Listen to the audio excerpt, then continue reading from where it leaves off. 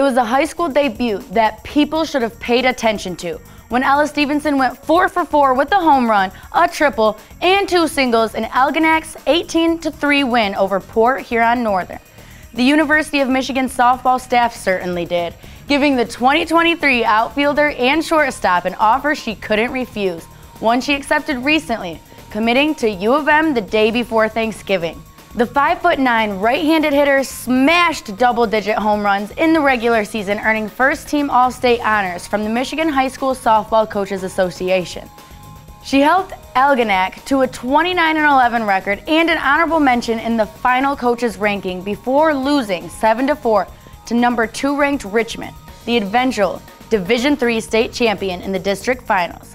A game the Muskrats led 4 3 after a Stephenson home run in the 6th.